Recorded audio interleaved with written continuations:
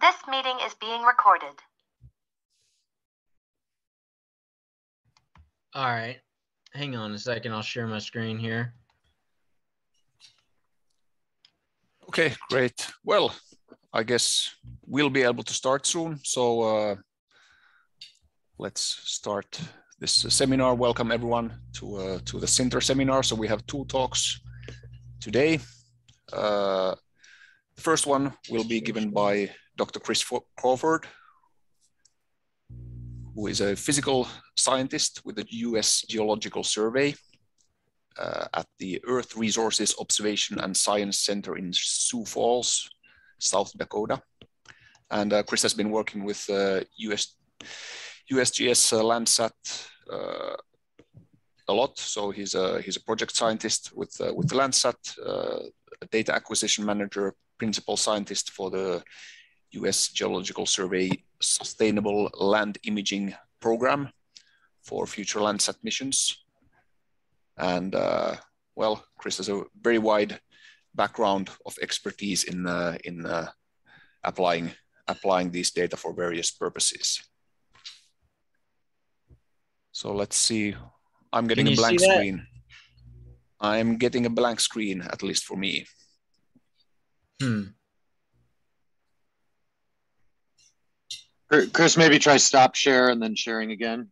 Make sure you're choosing Okay. the right window there. Hmm.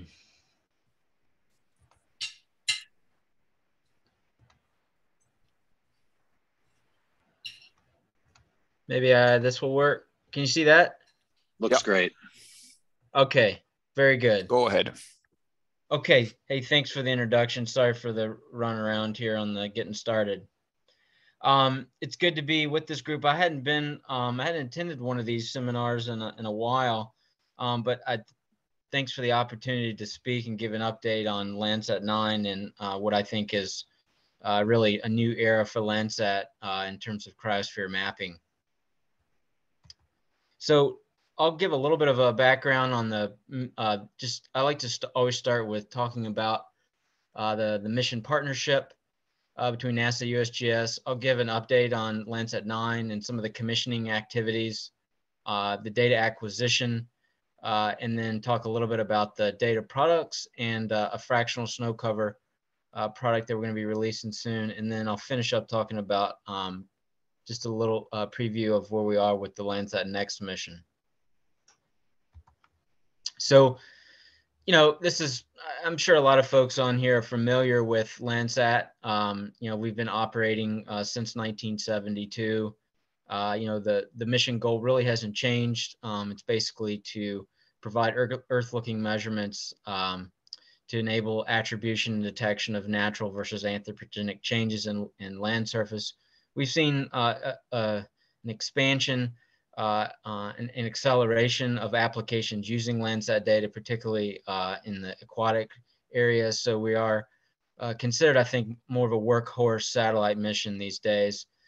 And so for pretty much two thirds of Landsat's lifetime, there have been two active satellites providing eight day temporal coverage. So we oftentimes kind of uh, 16 days is what is uh, commonly associated with Landsat, but we've actually, for, for the bulk of the record, have had eight day uh, temporal revisit, and I'll come back to that here in a minute with uh, Landsat 8 and 9. So, uh, in terms of the mission partnership, uh, NASA is largely responsible for the technology investments, the mission requirements.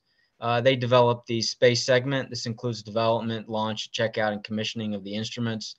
Uh, they handle the pre-launch calibration, they have their own science and applications program uh, as well as communications and outreach.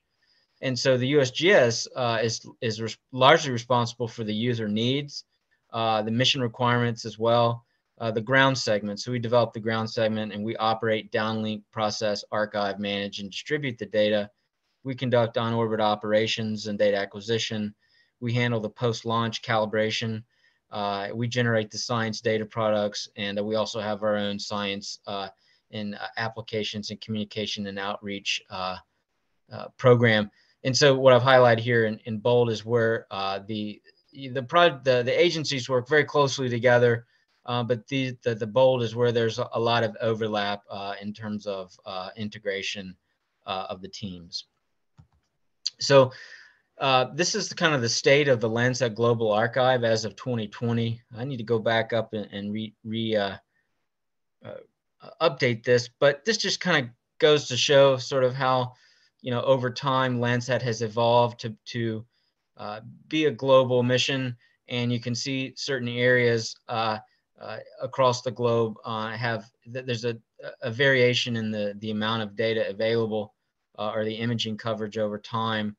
Uh, but now with Landsat 8 and Landsat 9, we're, we're going to be moving in, into more of a systematic global observation um, uh, capability. And, and, I'll come back to that here in a second. So um, Landsat 9 was launched from Vandenberg Space Force Base in California uh, on September 27th. Uh, the observatory carries uh, the multispectral VSWIR operational land imager and the dual channel thermal infrared sensor. Uh, this is oftentimes referred to as a clone or a rebuild of Landsat 8. Um, Landsat 9, it, so they're very comparable in terms of the observatories, but Landsat 9 do, does have a few additional uh, capabilities uh, uh, that, that really kind of result in uh, slightly better radiometry and overall better system calibration. And so we're very excited about uh, Landsat 9. The commissioning was completed uh, and we started operations uh, in late January. Uh, this image here on the right just shows uh, one of the first images we got on the first day of imaging on October 31st uh, over the Himalayas. And we saw that and I was just like, wow, this is fantastic. and so we released the collection two, Landsat collection two, Landsat 9 science data on February 10th. So you can now get Landsat 9 data um, basically in a pre-ops mode as well as uh, what we're we're now sort of on our nominal uh, acquisition cadence.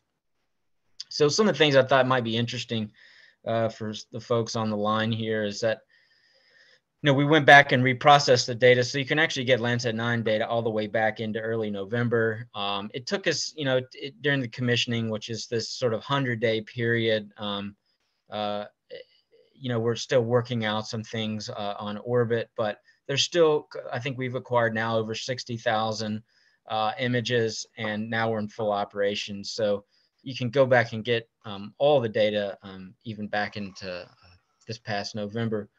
One of the interesting things that uh, uh, we did was we underflew Landsat 8 with Landsat 9 uh, from November 12th to November 17th while Landsat 9 was on its ascent to its final orbit and so we got five days there where we got overlapping coverage uh, between Landsat 8 and Landsat 9. And this is uh, really a, a, unique data set. Um, November, maybe not the most ideal time for uh, a lot of science applications, but nevertheless, uh, it's a unique data set. And so I did want to just kind of highlight that, that if folks are interested, they can sort of look at in the archive uh, Landsat 9 has been calibrated, cross-calibrated to Landsat 8 using pseudo-invariant calibration sites in the vSWIR and uh, calibrated to coastal inland water uh, buoys for the thermal infrared. Um, the absolute calibra the absolute on onboard calibrations uh, between Landsat 8 and Landsat 9 agree to, to uh, less than 1%. So this is a, a really an exceptional achievement um, for both NASA uh, and the USGS, and we're very excited. And uh, folks can have a, a, a, whole lot of confidence in the calibration of this data. So one of the things that's really interesting about Landsat um, is that with Landsat 8, we, we expanded our operational science data acquisition fairly significantly because Landsat 8 provided a, a lot of new capabilities. And so since it's a near polar orbiting mission, you know, we get a lot of data over uh, the Arctic or the circumpolar region as well as over Antarctica. And we started acquiring a lot of this data back in 2015. And so there's building up a, a, re a relatively nice uh, imaging record um, in the polar regions. Um, and now that we have Landsat 8, we're now acquiring more data uh, than we've ever acquired before. And so um, in in a lot of the uh, high, very low and high latitude regions, we're getting basically now one one day revisit or two day revisit in some of the high latitude and low low latitude regions, and I think this reflects a significant uh, advancement in the capability to use uh, both the multispectral VSWIR and the thermal infrared data to to understand uh, the changes that are ongoing uh, in in the polar regions, and and so this has become kind of an, an important emphasis uh, uh, for me uh, in terms of the data acquisition manager, and so we're we're following this kind of closely.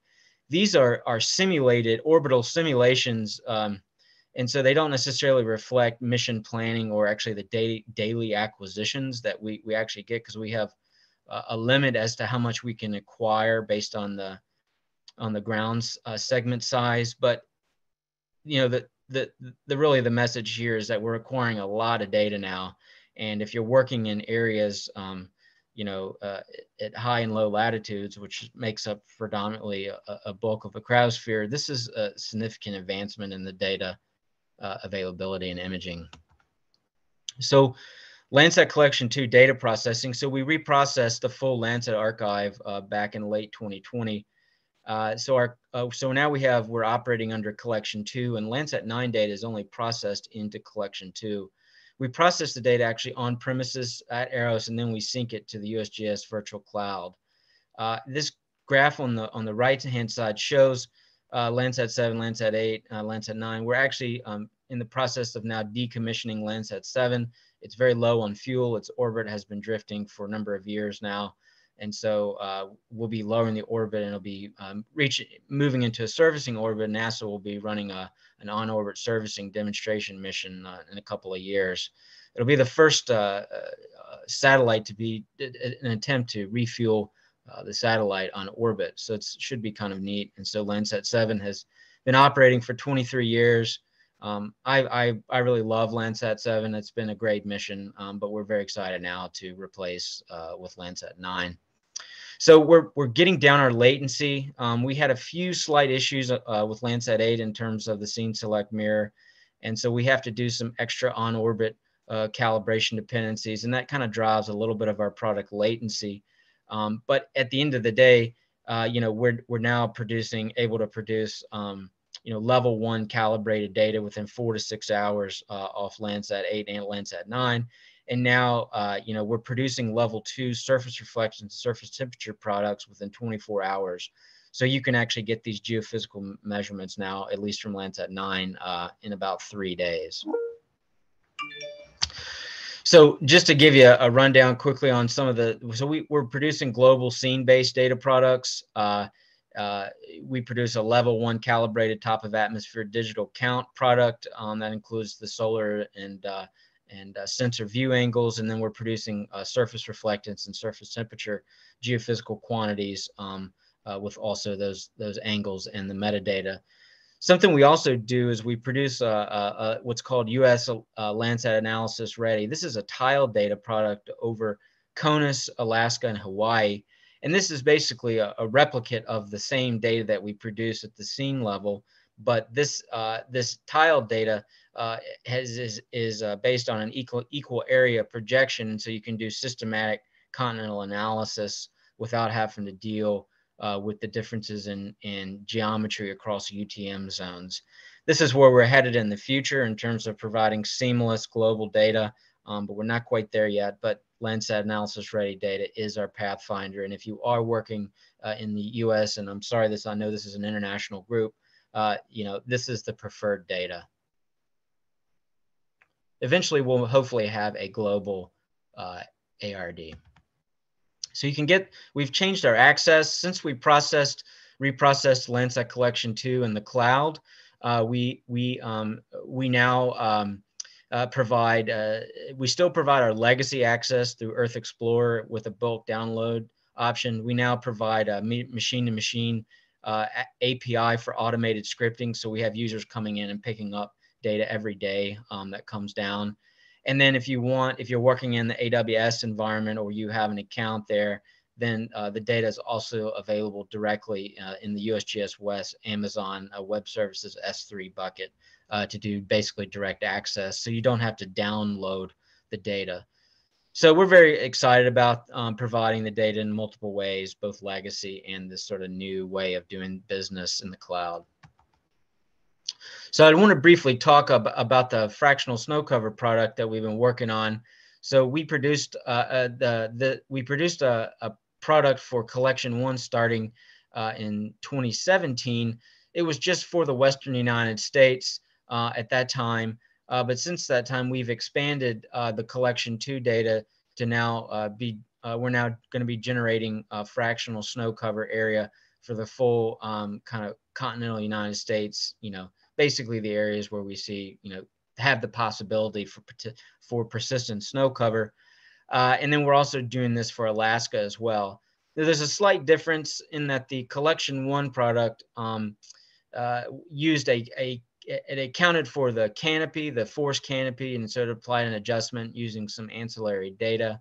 Uh, and so we've are continuing with that with collection two, but then we're also delivering the viewable snow, which is basically the apparent um, uh, uh you know, reflectivity uh, and snow uh, at at the at the sensor from from more or less the top of the canopy. And so we're so I guess what I'm trying to say is that we're going to be providing uh, this ground uh, canopy adjusted snow product for portions of the western U.S. But for other portions across the the U.S. and in Alaska, we're just per, um, producing the viewable snow. Uh, this will be available from uh, Landsats 4 through 8 um, uh, from 1982 to present. We'll, we'll be adding Landsat 9 down the road. Uh, it, it uses the snow covered uh, area and grain size uh, algorithm. It's a little bit different than um, you know the, the, the sort of research or algorithm um, um, that's, that's ran the SCAG algorithm. So we, we're sort of kind of placing ourselves as, as kind of the operational uh, product, and there are some slight differences, um, and um, that's important to know.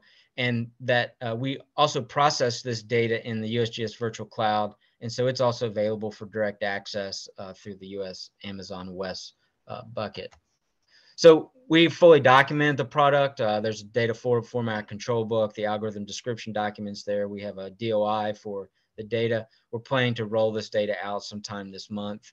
Uh, and so again, if you're only working in the US, this may be something that you want to look at using. Sorry for those in the international uh, area. We are working on a, uh, starting to think about a, a, a uh, global architecture uh, for such products, level three products, but uh, we're, we're just not there yet. This just shows a, a few examples um, of Landsat 9. And so we've basically revised uh, or um, evolved the algorithm to be able to run on Landsat 9 data. And this just shows kind of uh, Landsat 9's really exceptional uh, uh radiometry and then the retrieved uh, fractional snow cover uh, from Landsat 9 using the SCAG algorithm. We're very excited about this. And you can see sort of, you know, the, the importance of the canopy there in, in an area in Utah, very dark. And so we're not getting very much viewable snow retrieved. Uh, but nevertheless, uh, it's a really important advancement, and I'm, I'm excited to see how the, the, the research and applications community take up Landsat 9 to uh, advance this data.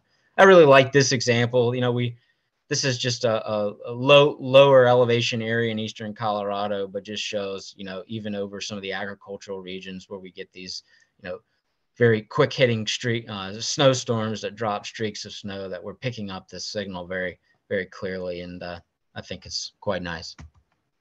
So i wanted to finish up talking about um, kind of where we are and where we're headed into the future. So uh, you know in the, at least in the us we take a lot of our uh, uh, guidance at the agency level from uh, the earth science and applications from space decadal survey and i just kind of like to remind folks uh, there was an important finding um, that the USGS uh, has transformed the Landsat program, um, you know, into a sustainable land imaging program. Uh, and so, you know, and it's done a good job of connecting the scientific and user communities and developers of new measurement technologies uh, and, and new products. And this really has put Landsat on a, on a fairly strong operational footing, and it's sort of viewed like that and so uh, we're, we're, we're moving forward with Landsat under what we call the, this SLI program, uh, which uh, in, can include a range uh, of different types of Earth observations, not just Landsat, um, but we are, are very excited uh, about where Landsat uh, and SLI is headed into the future. we've done the USGS has done extensive user need and community input on the next Landsat net, mission. We've canvassed the community, um, and so I can say that both user needs from the terrestrial land and the aquatic remote sensing community at large is being represented in the development of the science requirements for the mission.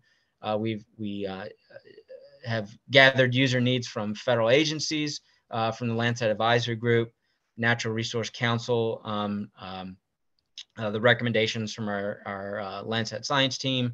We've had a, a, number of focused subject matter expert groups on some of the spectral advancements that we're expecting uh, for Landsat to support emerging applications. And then there's NASA has also released a, a number of uh, uh, requests for information documents out um, uh, over the past year or so uh, on, on uh, reaching out to the community. So we tend to see that the traditional Landsat applications, uh, you know, things like land cover, forestry, vegetation dynamics, uh, agriculture, evapotranspiration, fire, urbanization, ice and snow, and coastal freshwater. And so we're going to be able to continue to support uh, these application areas moving forward. But we also see these emerging uh, science needs and application needs coming from the community particularly in the area of agriculture, forest monitoring, water, climate, and minerals. And so what we're really looking at doing is uh, in, improving the spatial resolution for the next Landsat uh, mission, uh, improving the temporal revisit for to eight days or better for, for one single mission, and then adding uh, a number of new spectral bands uh, to basically support um, uh, the emerging science applications while maintaining continuity uh, with traditional Landsat applications. And you can kind of see here that uh, ice dynamics and snow hydrology are really viewed as kind of key and highly important application, emerging applications. And so we're very excited about this measurement capability that's coming. So just to finish, you know, Landsat Next advancements and the proposed, and again, I'd, I'd, sort of highlight these are proposed science measurements um, because we're still early in the process. But uh, you know, we're looking to increase the spatial resolution of the VSWIR measurements um, from 10 to 20 to 60. Uh, we're going to be increasing the spatial resolution of the thermal infrared measurements to 60 meters. We're going to be looking to improve the temporal frequency to eight days or better for one Landsat. Uh, and then uh, the radiometric performance um, of this new kind of measurement concept uh, will definitely uh, match uh, the radiometric performance of Landsat and 8 and Landsat 9 at 30 meters. And so you can see here on the right, that's the spectral comparison. I, I sort of view the spectral advancements for Landsat Next to be kind of a, a significant leap forwards. Uh, and, and, this just compares kind of what we're doing today with Landsat 9 and then what's on the table for uh, consideration for the next Landsat mission. And so we're thinking about uh, a 26 band uh, system that uh, includes 21 bands uh, in the VSWIR and five bands uh, in the thermal infrared. And a lot of these new bands are going to support things um, in the VSWIR, such as snow cover, uh, you know, liquid water absorption, ice absorption, being able to kind of get a better handle on the grain size, and then we're going to be adding uh, measurements for water vapor and improved atmospheric correction, uh, uh, more measurements for uh, water water quality and even aquatic. So what's happening for those who who kind of work across the cryosphere aquatic uh, ocean biology domain. We're going to be uh, adding measurements to, to retrieve chlorophyll. And then you know and then with respect to the the thermal infrared we're going to be adding measurements um, to retrieve surface emiss, emissivity uh, independently from temperature. And so this will provide some new uh, elements uh, that will be helpful also for uh, the cryospheric sciences. So i'll end it there to for now and pass it over to thomas. And i guess what we'll do is take questions uh, at the exactly. end exactly right? okay yeah, sounds thanks, chris yeah, hey yeah super super interesting presentation. So uh, I'm in case you have questions, yeah, you well you can keep your keep your slides on if uh, if someone has a specific question, but uh, please in the audience, uh, if you have a question, please raise your hand in the in this system. Okay, there's one, the first one. So Jack, go ahead. Or is that uh, just clapping? I guess. I was just I was clapping. It was a, a really interesting presentation. But I will say um, I'm really excited to see the investment in the fractional snow covered area products, and I've been using them in research, and they've been working really well. So we appreciate you guys producing them at USG. Okay, yeah, that's great to hear. Yeah, we're very excited uh, about this, and uh, uh, we're always keen to hear the feedback um, because it's sort of evolving. But I, am very excited. Uh, I think this is going to support uh, new areas for continental analysis, at least uh, for this next iteration, and some of the some of the things I'm going to. So we appreciate that feedback. So, and let us know if we, you know, if on the products is something we need to to look into. We're we're more than happy to do that. Yeah, I'll reach out if I have any further questions. Sure, sounds good. Thanks. All right. So anyone else? Just raise your hand or, or just speak up since if you cannot find the way to raise your hand.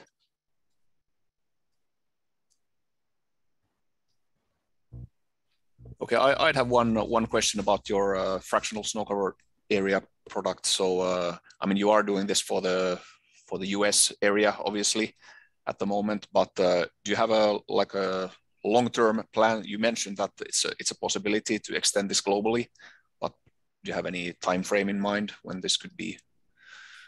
yeah, that's a great question. So, um, so uh, yeah, we are uh, we're kind of incrementally uh, scaling this up. I think that um, you know there's been some really good techniques that have been developed for adjustment of the forest canopy. I still feel like there needs to be some more work research done in that area, um, but I'm still sort of confident in in the the quality of the viewable fractional snow cover. And so, I guess um, you know right now in terms of where we are globally we're kind of wrestling with uh, the, the sort of uh, concept around global data products because it's very expensive uh, actually to make to process and maintain uh, large data sets. And so we're, we're trying to think innovatively about how we can offer the capability to generate global data products, but figure out how to uh, make it cost effective. Uh, and, and so what I can say is one of the areas I think we are planning to move towards is more of a cloud based deployment of more of an on demand capability rather than just basically building standalone data sets, which is traditionally what we've done in remote sensing has, has basically processed all the data and it just sits on a disk somewhere. But that's really changing now with the cloud. And so um, we are working on, we do have the capability to generate products uh, outside of the U.S. Uh, we just uh, uh, have are not releasing those products to the public. So anyway. Okay. But I think there's a lot more advancements that can come here. So this is just should just be viewed as an incremental sort of step in that direction. Okay, great. Well, thanks again for your talk. Uh, yeah, thank you for having me. Appreciate it. Okay, and Thomas is uh, sharing his screen already. So, uh, so before I let Thomas on the move, so just to introduce him, so Thomas uh, is the founder and managing director of uh, ENVEO Environmental and Earth Observation IT, which is a uh, Austrian company founded in 2001. Uh, ENVEO is uh, focused on working in the field of snow and land ice monitoring and natural hazards using mainly SAR, but also optical satellite data and uh, implementation and operation of services using, using these data. Uh, so ENVEO is uh, very well known in European circles. So if you talk snow and ice and remote sensing, it is very likely that uh, Thomas and uh, ENVEO are somewhere behind the corner. So, uh, but without further ado, I let Thomas give his presentation. Go ahead. Uh, yes, uh, thank you, Juhat, uh, for this introduction. In my talk, uh, I will talk about recent experimental studies on snow water equivalent retrieval in mountains by means of INSAR. And actually, when I was asked by Chris uh, to give this presentation, he mentioned uh, that I should also go on new upcoming systems in Europe. And therefore, oops, I will talk in my uh, presentation Also a little bit on an upcoming Copernicus ROSE-L mission, uh, which will come in a couple of years. But I will focus primarily on uh, recent uh, field campaigns uh, carried out in uh, two places, in uh, close to Innsbruck and one close at the Austrian-Swiss border, in preparation of this mission. Now, what is ROSE-L? ROSE-L is the L-band mission for Copernicus, and it's uh, actually, as all the Copernicus missions, uh, mission to support the European uh, services for monitoring natural hazards, land surfaces, sea ice, and land cryosphere. Currently, the mission is uh, prepared by the Mission Advisory Group from the scientific point, and just the industrial contract has been signed. The launch of uh, this SAR system will be in mid of uh, 2027 uh, and uh, it should be operational about uh, six months later. It will consist of two uh, satellites, very similar to Sentinel-1 A and B, and they will fly also in the same orbital plane. And the incidence angle range will be between 20 to 47 degrees. Swath width um, will be about 260 kilometers, so very, very similar as Sentinel-1 in dual pol mode, and uh, but it also is capable in operating in quad pol mode.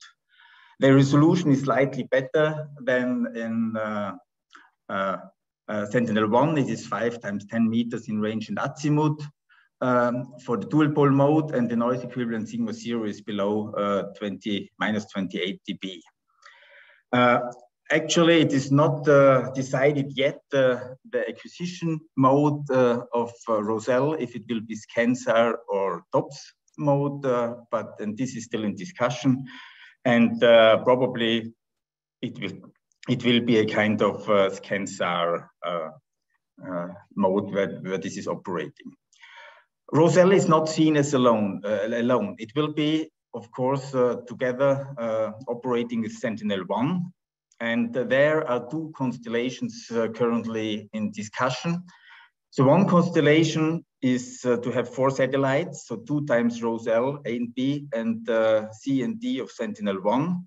And this uh, is shifted by three days, so to have a maximum of uh, the coverage, so a very high observation frequency. The repeat uh, uh, orbit would be uh, every three days, although not by the same frequency. So it's L-band, C-band uh, alternating at three days. And uh, this is, of course, uh, driven primarily by uh, services of sea ice and marine services. And then the other option is a kind of tandem constellation. And ROSE-L would follow here Sentinel-1 within a few minutes. So this would mean that we would have a kind of quasi-multi-frequency SAR so L-band and C-band at uh, co and cross polarization acquired uh, within uh, a few minutes. But uh, of course, uh, there are some technical issues like Earth rotation uh, speed will change depending on the latitude, and this has an impact on the distance between ROSE-L and Sentinel-1. And then, of course, we have also to download the data to the receiving stations, and if both satellites are passing by to the few receiving stations, that could be also uh, a kind of uh, limitation because it's not only ROSE-L and Sentinel-1, there are many other Sentinels uh, uh actually operating. But there is also uh, another uh, synergy with other Sentinels, and I want to mention here the combination of the L-band active system together with CIMR, which is also from Copernicus 2, from expansion, uh, expansion missions, a passive microwave uh, instrument, and both together would of course be very interesting for snow monitoring. Uh, where the passive microwave uh, would take over uh, the, the, coarser resolution, uh, the gentle terrain, and ROSE-L could look for the monitoring of the mountain regions with a higher resolution. Now, uh, what are the highest uh, priority for the cryosphere? Uh, the parameters, uh, ROSE-L has the aim to fill the gaps and also to provide unique information. And uh, this has been separated for floating ice, glaciers, ice caps, and ice sheets. You see here in red, those parameters were of high priority and by the L-band uh, can uh, contribute significantly and improve the uh, products and the services. And for snow, actually, there is one parameter mentioned, which is snow water equivalent, especially in mountain regions. And uh, this was identified by the uh, Polar Expert Group, which has uh, published three reports on the requirements uh, on the uh, different parameters like here is the price and um, actually for this uh, retrieval of L-band, there are a couple of uh, experiments already running in the frame of ESA projects, uh, but also in the frame of uh, other activities. And here I want to show actually the status of these ongoing activities. Now, very quickly on the basis, uh, what is the plan to retrieve uh, for uh, the snow water equivalent uh, in mountainous regions is uh, the interferometric approach. Uh, I think this is quite well known. Uh, here uh, we see that interferometric phase has various uh, components like the flat terrain, flat earth contribution, the topographic contribution, atmospheric, and also probably ionospheric contributions, which have to be accounted in the equation. But what we are interested in is actually the retrieval of the phase shift due to snow water equivalent. This is of course uh, this is of course only suitable for uh, dry snow, as in wet snow, uh, the uh, radar has uh, only a very small uh, penetration and is limited to the surface. And we have a direct relation between the snow water equivalent and the the interferometric phase. And what we are measuring is not the absolute uh, snow water equivalent, I have to say, but only the accumulated uh, snow mass uh, in the time period between the two image acquisition. And this shows you actually the equations when we are counting for the local slopes uh, in which is needed in mountainous regions. Now, uh, just to give you an idea, we can do some simulations and just that you know uh, how sensitive this method is. Uh, so at L-band, for example, one phase cycle of snow water equivalent, uh, uh, one phase cycle of uh, the at L-band or C-band corresponds to 131 or 29 millimeters of uh, snow water equivalent at 30 degrees uh, incidence angle for flat terrain. And when we look, for example, for fresh snow with a density of 150 kilogram per cubic meter, then it's about 80 centimeters of fresh snow accumulation or 20 centimeters of fresh snow accumulation. The higher the densities, of course, uh, then uh, we have, of course, this is reduced because we are going for the density. There is also a slide uh, dependence on the density in the retrieval, but this is only uh, the case for uh, higher incidence angle above 50 degrees. Be below 50 degrees incidence angle, uh, we can uh, use density independent equation. But in mountain regions, we know that we have often incidence angles above the 50 degrees, especially in the back slopes. So therefore, we have to go with the uh, full equation. And um, currently, uh, there were a couple of experiments or tests uh, made out, and a few examples have been shown uh, where we were able to retrieve snow water equivalent from the L-band, and uh, different groups have applied this. And um, uh, but of course, in mountain regions, this is of course due to this hard topography quite difficult. And therefore, in preparation of uh, the Rosella mission, but also of another SAR mission, uh, we uh, made an airborne SAR campaign in cooperation with uh, DLR and funded by ESA. It is called the ESA SAR-SIM uh, Hydroterra campaign.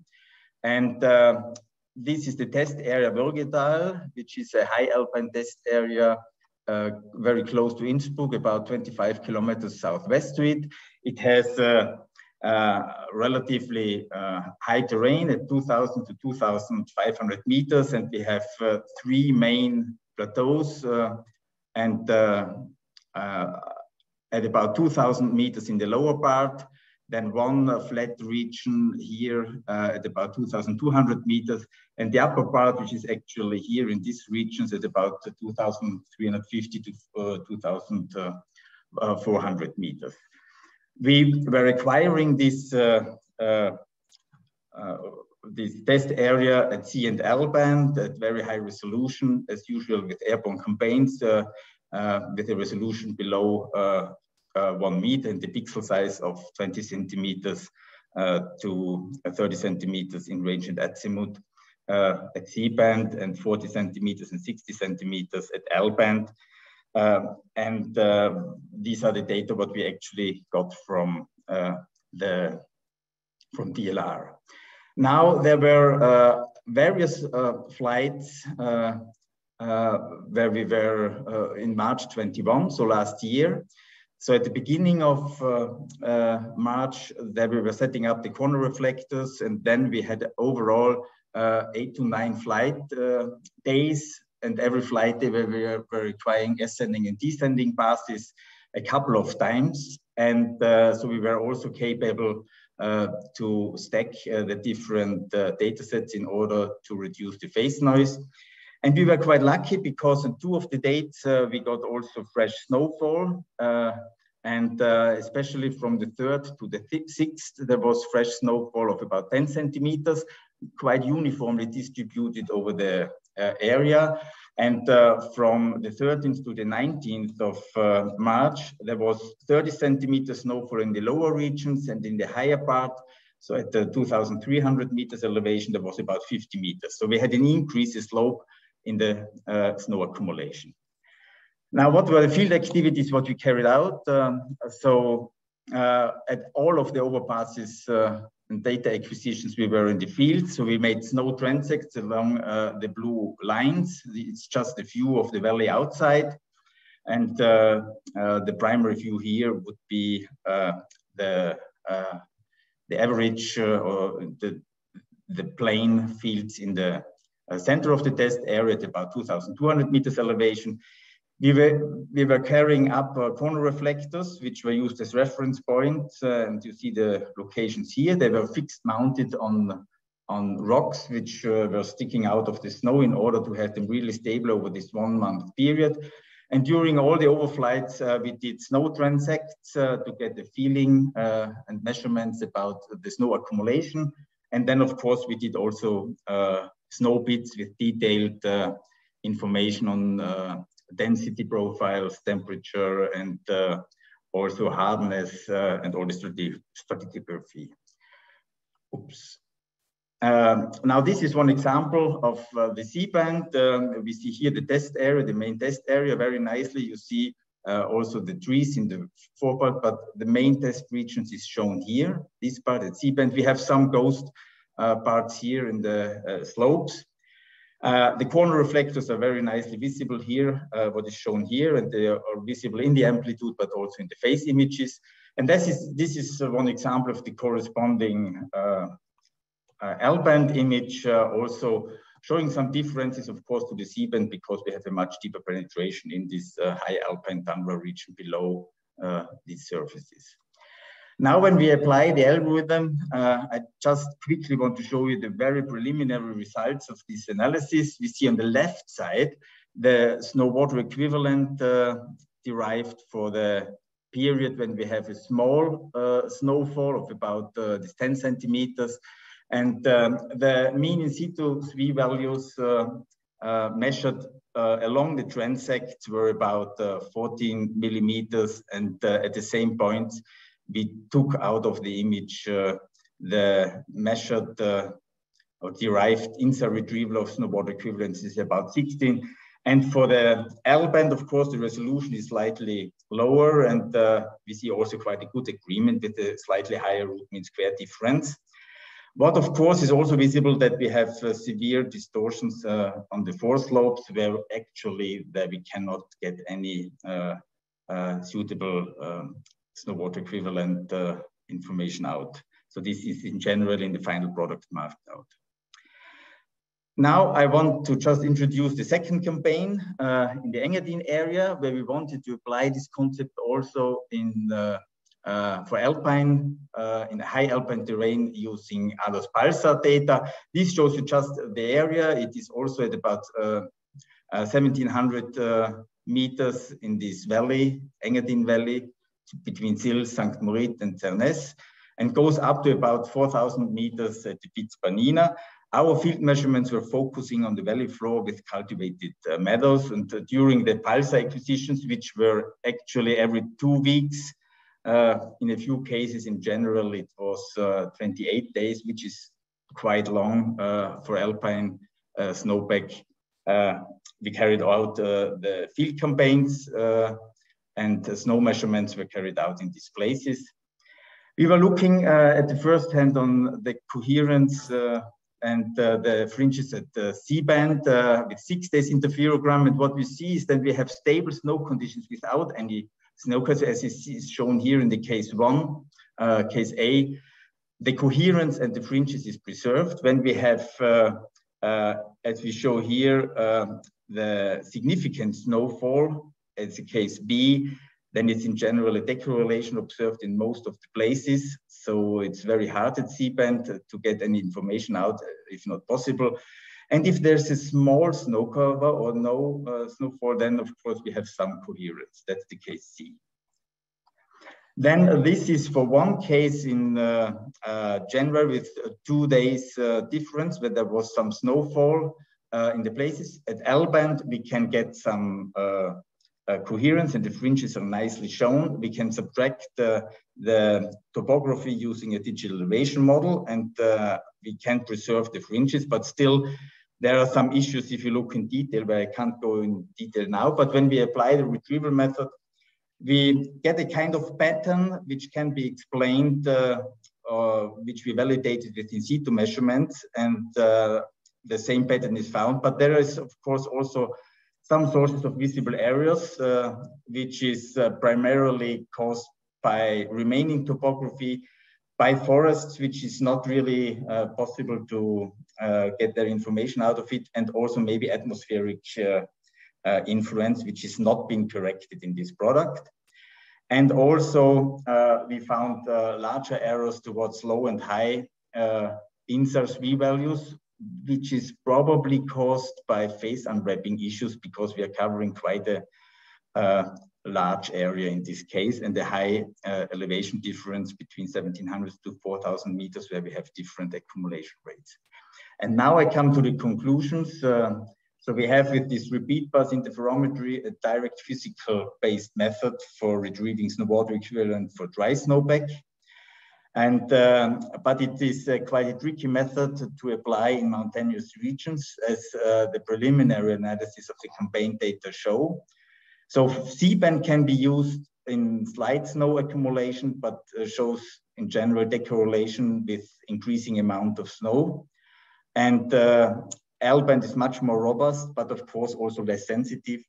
And it's useful in general uh, for higher snow accumulation we recommend in this case, that's our experience now to use the L band in combination with the C band, but in general, the L band alone is sufficient. For uh, snow water equivalent in mountain regions, we need uh, available reference points. Uh, we used for the airborne campaign the corner reflectors, which were cleaned of snow and uh, we know the phase quite well.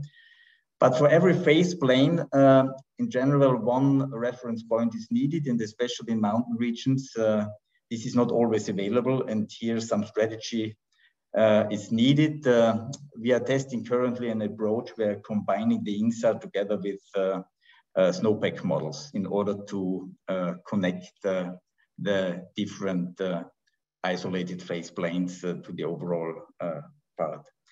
Then foreshortening regions uh, show increased noise and in general poor ground resolution and are masked out.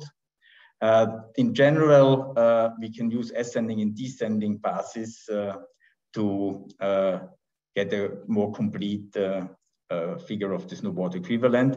But of course, this is not always acquired on the same day. and here we have a kind of accumulation then in dependence on the acquisition day.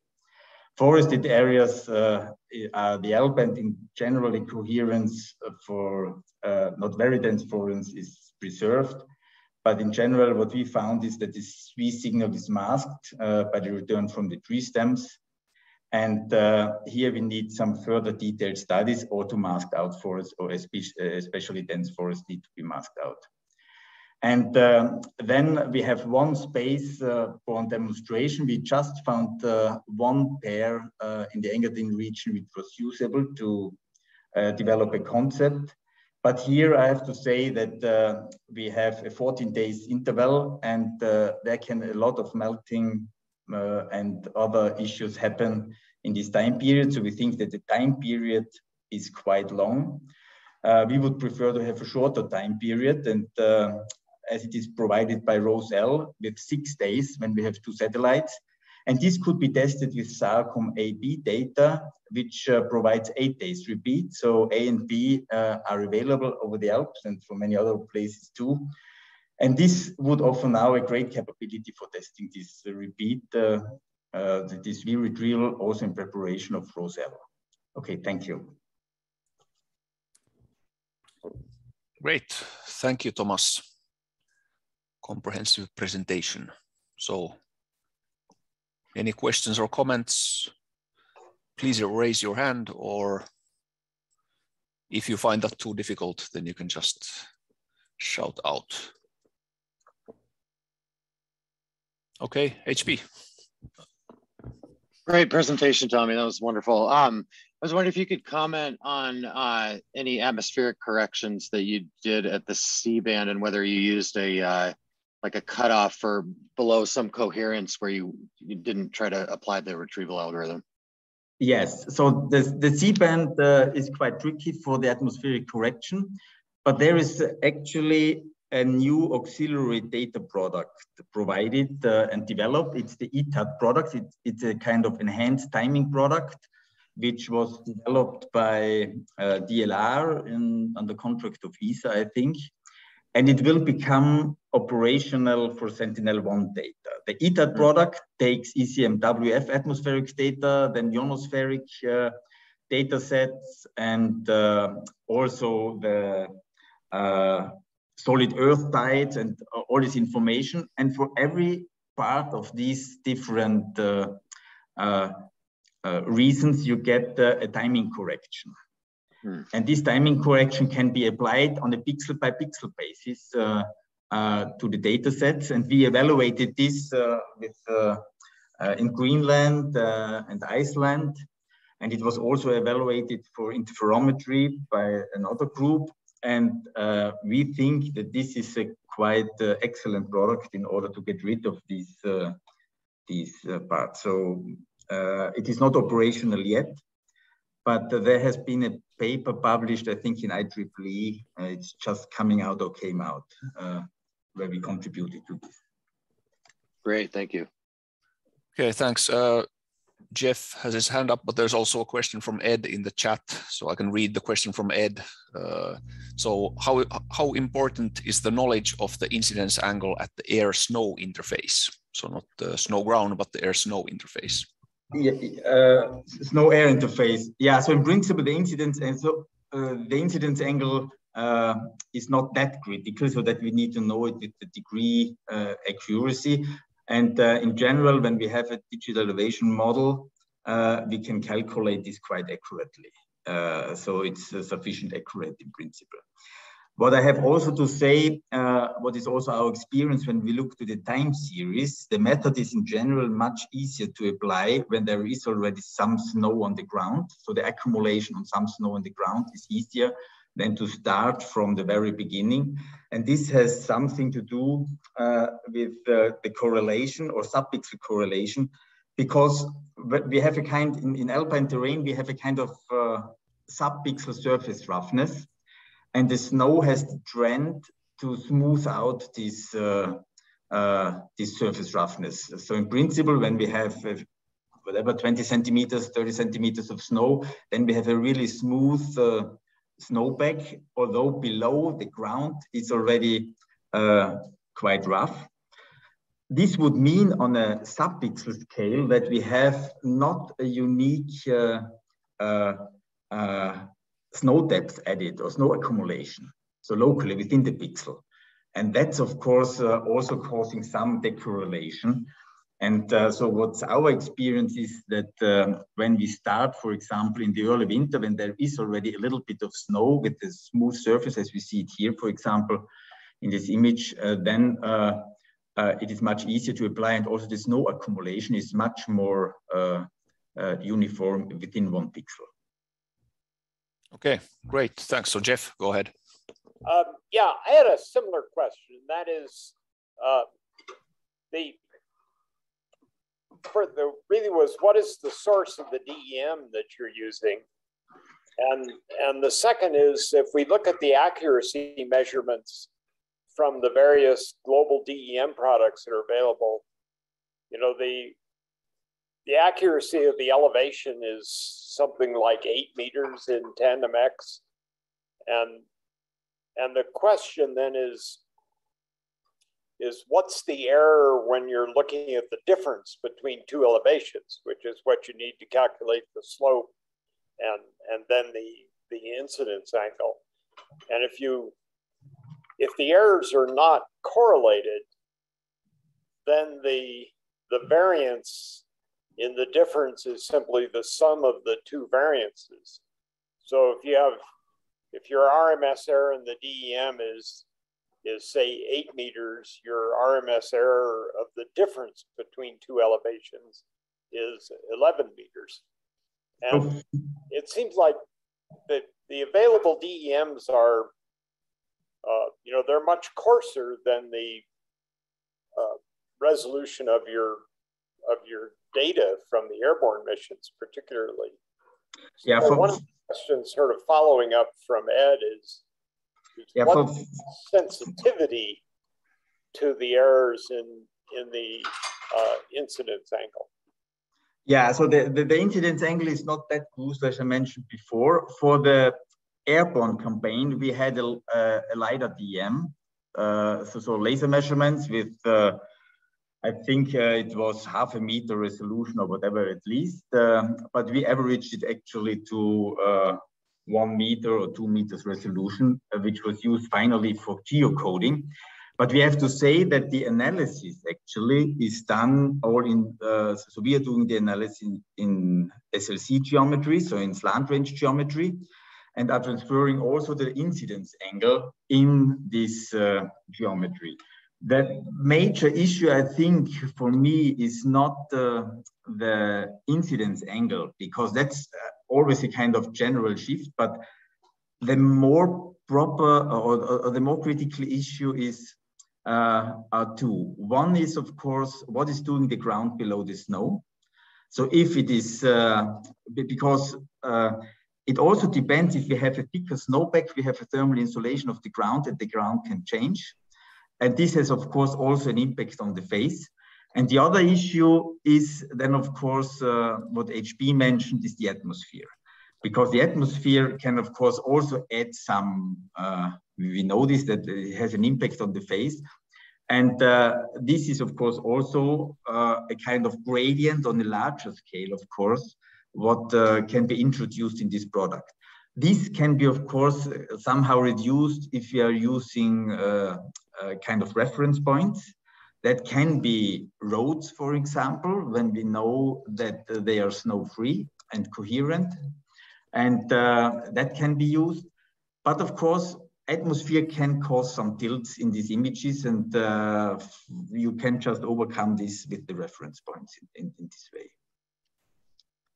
So Great. as I mentioned, it, it's not an easy method to apply in mountain regions, but uh, uh, in general, we think for uh, towards uh, kind of more operational or pre-operational processing, the combination with the snowpack models, so distributed snowpack models, which are available at 100 meters resolution for the Alps, for example, that would make sense. Okay, thanks. I think we're uh, out of time already, uh, but uh, thanks to everyone for listening in. Thanks especially to Thomas and Chris for for their talks and uh, stay tuned for the next Sinter seminar. Okay, thanks to everyone.